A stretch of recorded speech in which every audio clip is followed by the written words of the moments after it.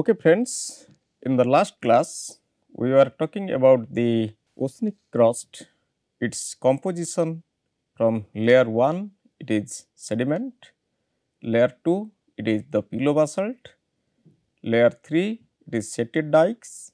And layer 4 it is gabbro and peridotite. So, this class we are going to discuss about ophiolite which is closely resembling to this oceanic lithosphere that we have discussed. Now, we are making all those layers into a package and this whole package we are thrusting it or we are exposing it at the continental continental collision system or at the subduction zone where at the surface these layers are exposed to us. Ophiolite, if you see this term ophiolite, it is from this Greek term that is ophio means snake and light means stone or in the other word you can say this term was introduced because the rocks were looking like snake skin. So, here for your information these are the field photographs and some ophiolites and here some of the snake skins. Now, if you can see these color and texture wise they are closely resembling to each other.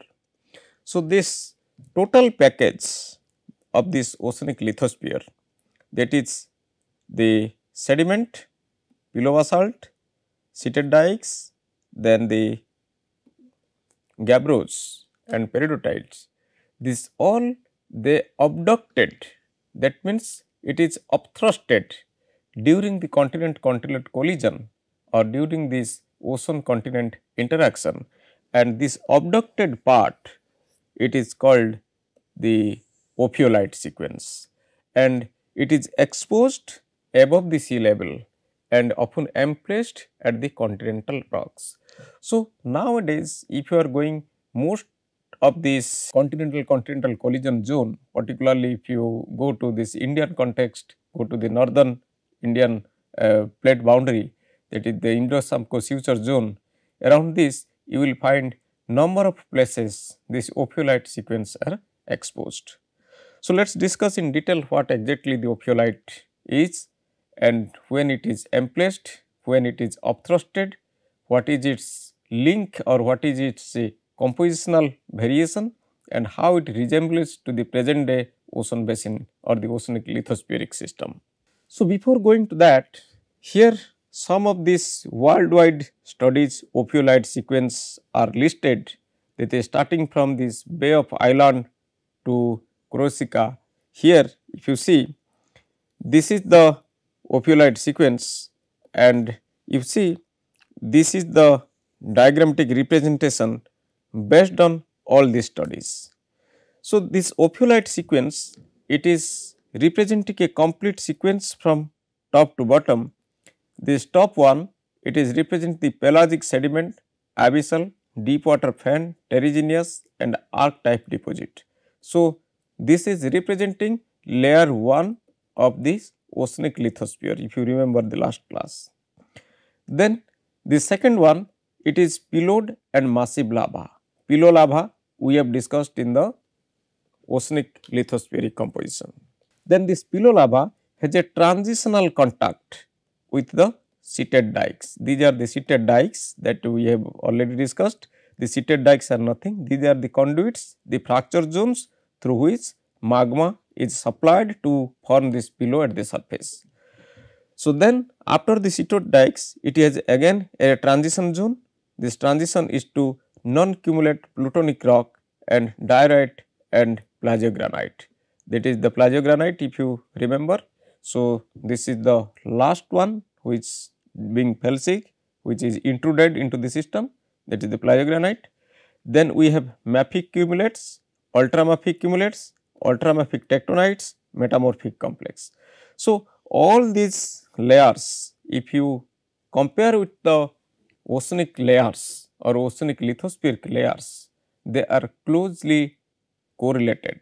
So, that means that is why it is believed that the ophiolite sequence which are now abducted at the continent at the subduction zone or the continental collision zone, they are nothing these are the remnant of this oceanic lithosphere and they are abducted during the ocean and continent interaction or the continent continent interaction.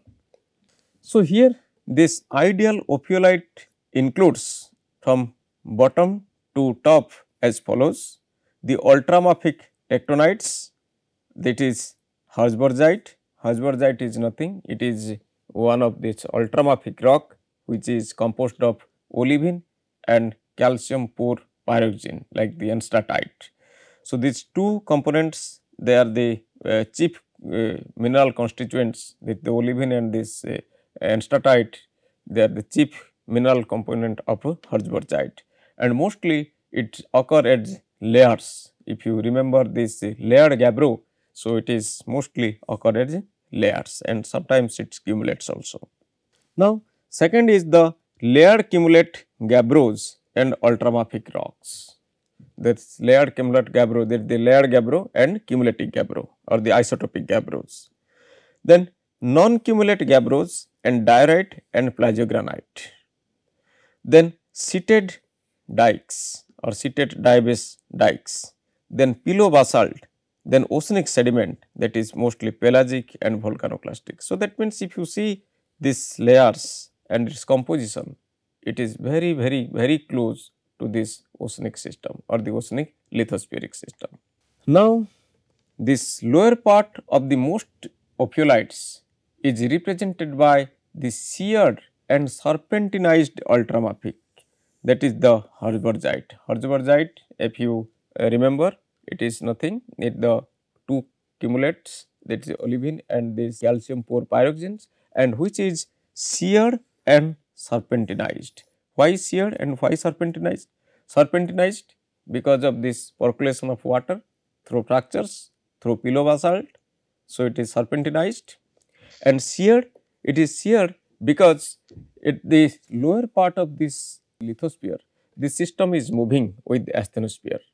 So, that means due to this movement that means lithospheric system at the base of the lithosphere this system is moving with asthenosphere. Asthenosphere and lithosphere there is a shearing movement here. So, that is why this part is sheared and with the pronounced foliation this foliation it is the layer like appearance. So, this layer like appearance generally it is the compositional banding. If you remember we are talking about this uh, layered gabbros. So, this is nothing the compositional banding and lens of dunite and chromite occur within that Harzburgite. So, lenses of dunite, dunite it is a monomineral rock mostly it is composed of uh, olivine. Then chromite as it is forming at high temperature this chrome spinel is there. So, that is why chromite is sometimes associated with that. So, that means at the lower part of this ophiolite sequence we are getting such information and it very important thing that it is sheared and it is serpentinized.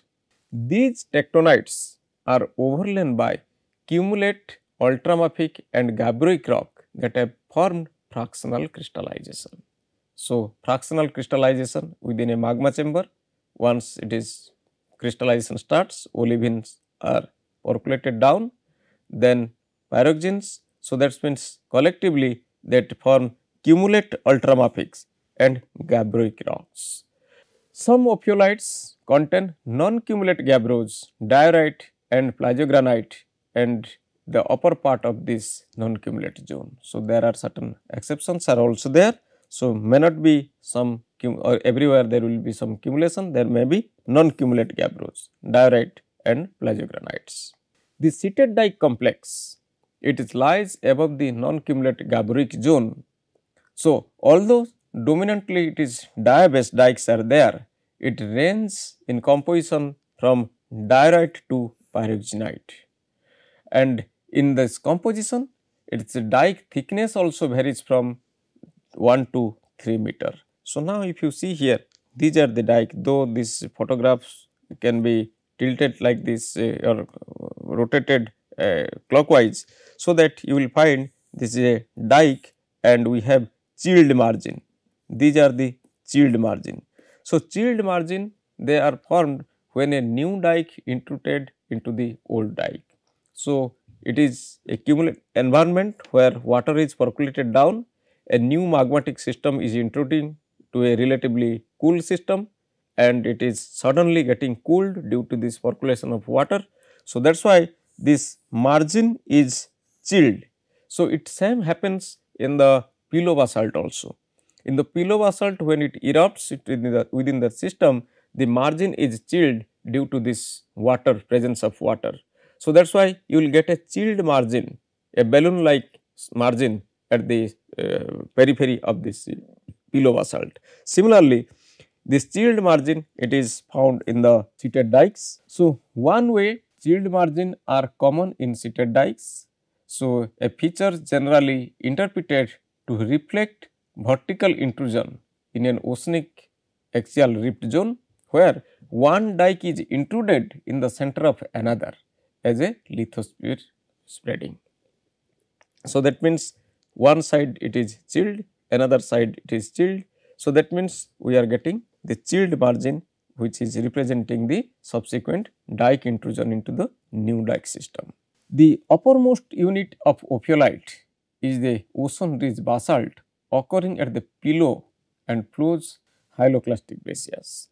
So, this uppermost unit of the ophiolite is the ocean ridge basalt and occurring as a pillow structure.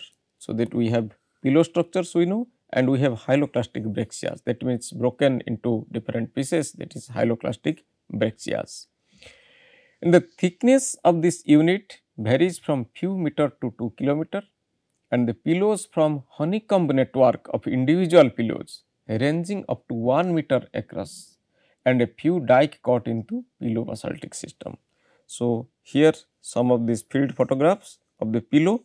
Now, you see the arrangement of this pillow in such a way that it is forming a honeycomb structure and through this honeycomb structure somewhere the dikes are intruded to the system. Many ophiolites are overlain by sediments of a pelagic and abyssal or arc depositional environment. Pelagic sediments include radiolarian cherts, red fossiliferous limestone and metalliferous sediments and abyssal sediments. So, this all these sediments are nothing this is representing the layer 1 of this oceanic crust. So, ophiolite it is emplaced and in the collisional origin may be of three mechanisms. What are the three mechanisms? First mechanism is the abduction or upthrusting of the oceanic lithosphere into a passive continental margin during continental collision. So, now you see we have one continent here and we have a ocean basin and here another continent here and it is the same ocean basin it is uh, common the both system. Now, both continental system they are coming close to each other and we have a mid-oceanic ridge here earlier. As now, these two continental system they are coming for collide. So, that means the oceanic layer here which was earlier now due to closure this of this continental system they will create folds, they will be folded and gradually they will close again it is coming close to each other finally there is more tightly folded and then it will be upthrusted that will thrusted. So, this continent continental collision zone once these two continent collide. So, this upthrusted oceanic system which was earlier here now they are upthrusted and lying here as a ophiolite. So, this is the one of these mechanisms. Then second mechanism is that splitting of this upper part of the descending slab and abducted of this thrust sheet into the former arc. So, now you see once we have a continental system and we have an oceanic system which is subducting down. So, this subduction is not very easy. So, here it is a high pressure environment, high pressure environment. So, that is why once it is subducting down and we are pushing it from this mid oceanic ridge and here this system this continental system is there and the subduction. So, that means there will be thrusting because it is not an easy process, it needs tremendous force. So, that is why part of the system is thrusted up and it remains here and it forms ophiolite. And the third is an addition of a slab of the oceanic crust at the accretionary prism of this arc system. So, here we have a continental system and we have oceanic system and this is the trench and finally, we are creating an accretionary prism here. That means, the sediment which was earlier deposited on this oceanic crust, these sediments are scraping off here and forming an accretionary prism. So, now this accretionary prism is here, this is continent and the same mechanism which is discussed here that means it is a high pressure zone or high stress zone. So, the part of the system is thrusted and this thrusted system this becomes a part of this accretionary regime. So, there may be the emplacement of ophiolite. So, these are the three possible mechanisms. So, how these ophiolites are emplaced. Ophiolites usually occur in collisional origin and their association of the deep sea sediment, basalt, gabbros and ultramafic rock suggest that they are originated in the oceanic lithosphere and subsequently thrust it upon their continental setting by the process known as abduction. So, this abduction setting it is nothing moving up. So, as we have discussed in the previous slides every three mechanism. So, it is demonstrate that it is moving up rather moving down. So, this moving up upthrusted it is called abducted. So, here at this continental continental collision zone this system is abducted part of the oceanic lithosphere it is abducted now abducted. So, that is why it is called abduction. Similarity of this ophiolite with the oceanic lithosphere is supposed by the chemistry, these metamorphic grades, the presence of similar ore minerals and the deep water sediments. So, that means if you remember our earlier slides here we are discussing all these systems that is defining the oceanic lithospheric composition and is oceanic lithosphere system which are discussed in the earlier class. So, that is why it is believed and uh, it is really that the abducted oceanic lithosphere at this continental continental collision zone is giving rise the ophiolites. Now, in Indian context if you see this geological map of India, you see at the northern boundary of this Indian plate mostly the Indus Tsangpo suture zone and other suture zones where this Indian plate is ending. Here these red patches are nothing these are the exposure of the ophiolites. So, that means here we have this Indian plate and we have this Eurasian plate and this oceanic lithosphere representing the Tethys ocean it is lying here and the Himalayan sediments that is nothing the Tethys ocean sediment, they are crumpled, folded, thrusted, metamorphosed and now forming the higher Himalayas system. So, that is why those red patches representing the ophiolites are nothing that is the abducted part of this Tethys ocean which is already consumed below the Eurasian plate. And this is the same one if you see this distribution starting from the Indian plate 1 and whether and all these ophiolites then arranged in such a manner that is defining the suture zone's orientation. Now, the question arises when it formed, whether it formed during this uh, continental continental collision or it is before that or after that. So, that to provide this exact date of formation of ophiolite worldwide number of ophiolite sequence that were dated and the subduction were also dated. So, it is found most of these ophiolites they are formed much much much before then the subduction starts. Before if because if you remember our Wilson cycle, the Wilson cycle first it create a rift basin and with further further rift it created a ocean basin and with further rift we are creating the mid-oceanic system and this oceanic basaltic layer it forms, started forming. But at that time started forming that means at up to that time there is no subduction. Similarly, after also few million years there will be no subduction, there will be only this spreading that means the new ocean basin is created, the basaltic magma is coming out and it is pushing both side into opposite direction. Now, this to maintain this total area constant, now somewhere these two blocks has to go down. So, that is why the subduction starts. Now, imagine this subduction is starting millions year after the formation of this oceanic crust. So, now the oceanic crust is formed and their subduction has not started. So, that means this area has to accumulate because the area have to compensate. So, there will be folding, there will be thrusting, so like that. So, that is why during that time the part of this oceanic lithosphere that is thrusted up. So, once they are thrusted up, so now if you imagine here we have a mid oceanic ridge here and we are filling it with basalt and we are putting it in two different directions. Now, we have to subduct it here, this ocean basin we are subducting it, subducting it here and this is the continental system. So, now imagine before subduction starts there will be some folding, there will be some thrusting. So, once it is thrusted up, it is thrusted, this is the thrusted block, it is thrusted up.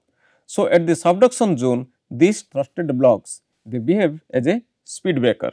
So, that once this uneven topography is created due to this thrusted upon of this oceanic lithosphere, once they reach at the subduction zone, this part, this part and this part, they are separated here. This is broken off, they can chopped off. So, it remains there and this becomes the ophiolite. This other lower part, it is subducted down, however, the upper part is chopped off here.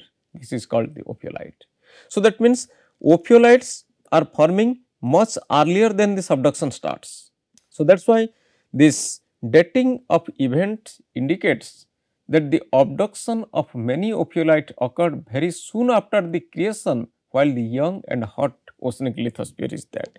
That means, during this oceanic lithosphere formation just after the formation ophiolite started forming because to compensate this motion to compensate the area of increased area we are here however we have not created subduction so far. So, that is why to compensate that we are folding it to thrusting it like that. So, these ophiolites are much much much older than the subduction zone. Continental collision however normally occurs a long time after the formation of a mid-oceanic ridge. So, that the age of the sea floor abducted should be considerably greater than the collisional zone orogeny. So, here some of these ophiolite sequence they are correlated also uh, worldwide. Now, it is correlated with the observed ocean lithosphere and you see all of this ophiolite sequence they are similar with the present day oceanic lithosphere.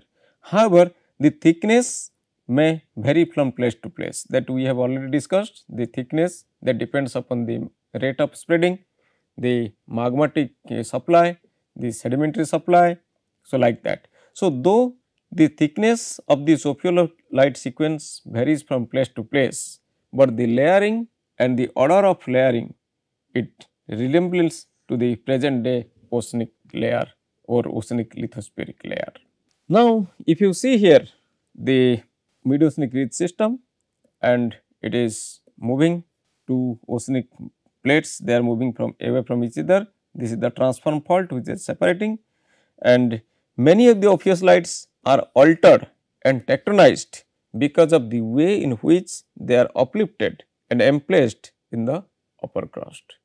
And in this graph if you see once this oceanic lithosphere is formed at the mid-oceanic ridge or the initiation of this mid-oceanic ridge formation, the rate of magma supply is more and gradually with distance it decreases, with time it decreases.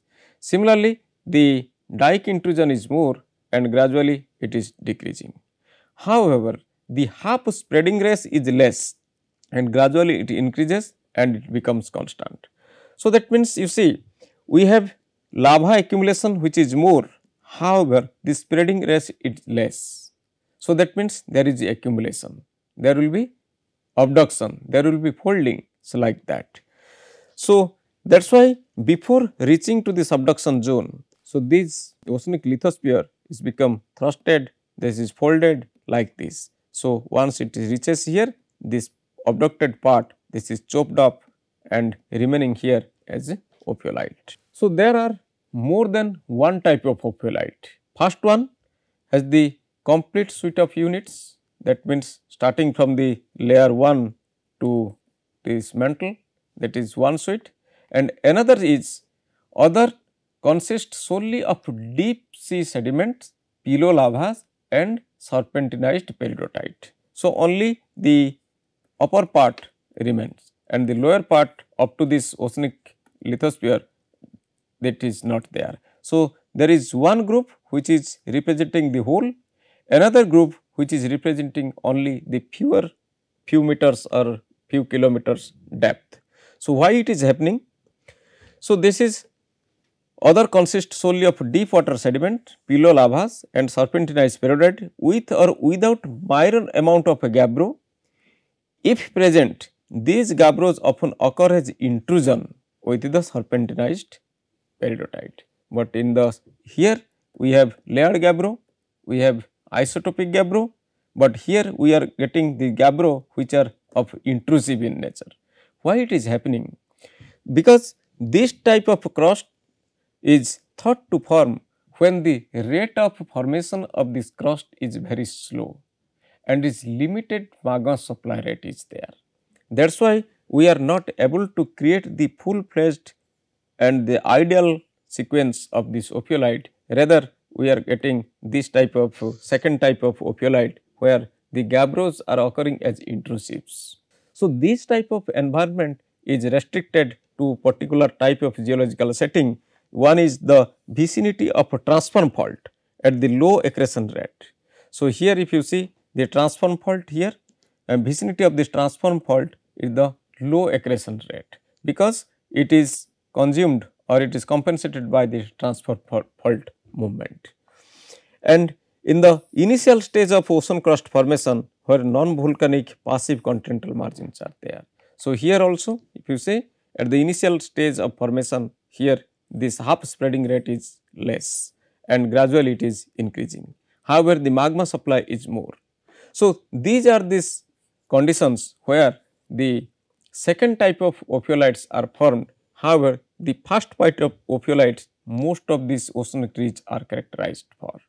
Because of this oceanic moho is exposed in many ophiolites, it is better known as continental it is better known than the continental moho because continental moho it is hardly exposed somewhere because it is a depth of about 40 kilometers and this ophiolite the oceanic layers or the oceanic moho it is exposed there. So, that is why these moho's characteristics compared to the oceanic system and this continental system the oceanic system moho is much more understood as compared to this continental mohos.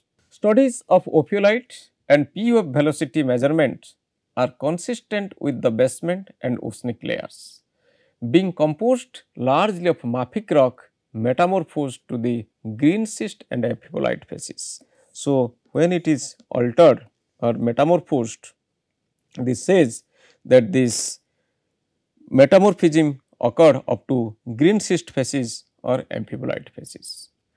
Although ophiolites contain minor amount of ultramafic rocks and felsic rocks, they are much less variable in lithologic and chemical composition. That says that this oceanic crust is rather uniform in composition. So, that is the beauty of this uh, ophiolite. So, it says about the present day oceanic lithosphere, it says about the uh, past abduction system, it is past subduction zones present so, like that in mineralization what is happening here, what is the magmatic properties which is magmatic mechanism which is going on at the lower crustal level depth or the, mantle level depth. So, that can be studied from this uh, ophiolite sequence. And uh, now, if you are coming to this ocean basin component, So, this ocean basin it, there are different components. So, one component is the mid-oceanic ridge. This is the mid-oceanic ridge where the new oceanic lithosphere is being created. So, that means the crust, the moho and this upper part of the mantle which are created here. And this created oceanic lithosphere it travels up to the subduction zone and where it descends down and it is contributing formation of this asthenosphere and again it recycled here. So, this system it is behaving as a conveyor belt. Next is the ocean basin, the ocean basin itself. It is geography, it is sediment, its depositional environment, its tectonic setting, all this the other component of this oceanic crust. Then the volcanic island, you can say the volcanic islands are here. Once this system or this uh, lithosphere descends down and its partial melting takes place here and due to partial melting here the magma rises and forming the island arc magmatism. Apart from that within that ocean basin we have some hot spots as we know it is d double prime layer where, where this magma is derived and this is also one component of the ocean basin. Then it is a trench once it is subducting down here the, the deepest part of this earth crust that is the Mariana Trench is there where this is also one component of this uh, ocean basin. Then the back arc basin, the back arc basin is somewhere here if it is subducting down a new ocean basin is created and this is called the back arc basin. This becomes uh, tectonically active with later times. So, these are the components of this oceanic crust and within tectonic setting these different components they behave differently and it has its own uniqueness that how this tectonics from one region can be distinguished from other. So, in the later class we will talk in detail about these different components, what is their role in plate tectonics, what is their mineralization and what is the fault formation or this basin formation, hydrocarbon formation or other aspects too. So, thank you very much. We will meet in the next class.